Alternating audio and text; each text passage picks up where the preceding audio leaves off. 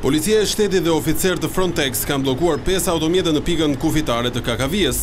Bëhet fjalë për makina të vjedhura që përdoreshin në vend me numër shasie të dubluar. Sipas njoftimit të Policisë së Shtetit, katër nga automjetet e bllokuara konsiderohen lluksoze.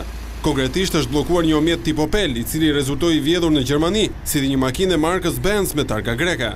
Paralelisht është bllokuar edhe një Volkswagen, si dhe një mjet tip BMW që ishin vjedhur në Greqi. Ndërsa, një rimorkio me targa shqiptare në pronësi të një shtetasi nga Kruja kishte ndërhyrje mekanike. Dy prej mjeteve janë bllokuar në dalje dhe tre në hyrje të territorit të Shqipërisë. Sipas policisë, janë proceduar penalisht pesë persona, mes tyre edhe një shtetas grek, për veprën penale Trafikim i mjeteve motorike. Kontrollet në pikat kufitare janë shtuar si pasojë e fluksit të lartë të lëvizjeve. Vetëm në pikën e kalimit në Kakavijë, këto ditë të para të dy mijë e njëzetës, kanë dalë nëntë mijë e shtatëqind shtetas, si dhe një mijë e shtatëqind mjete.